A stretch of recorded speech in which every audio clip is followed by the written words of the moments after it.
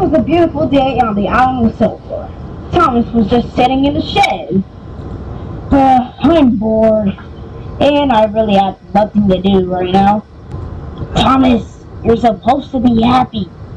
No, you know what? I have enough. We always start these episodes the same way. Like, it was a beautiful day on the island of Sodor. Oh, or, or whatever I you start the in the episode. She just let me tell me my own story. Well, we can't because we're the scripters of the show. And whatever our script says goes. Thomas, that was not part of the script. You need to stick to the script, script and always.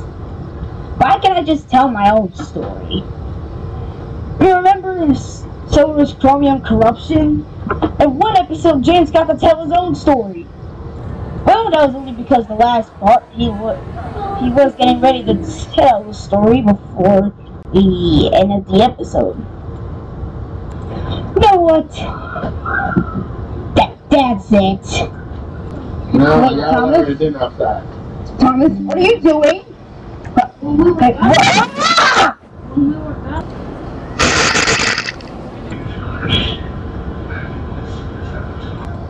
Now that's out the way, um, so how should I start this episode? Um, Thomas, what just happened? Wait, why is there blood over your meat?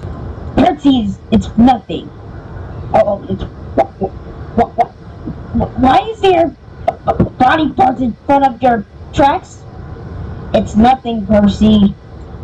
For God's sake, we're just making an episode. Wait, where are you going? Sorry, guys. Percy was just a little scared there.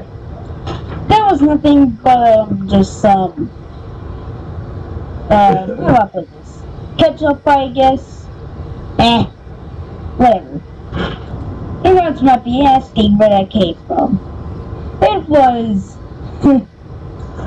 you know, nothing at all. the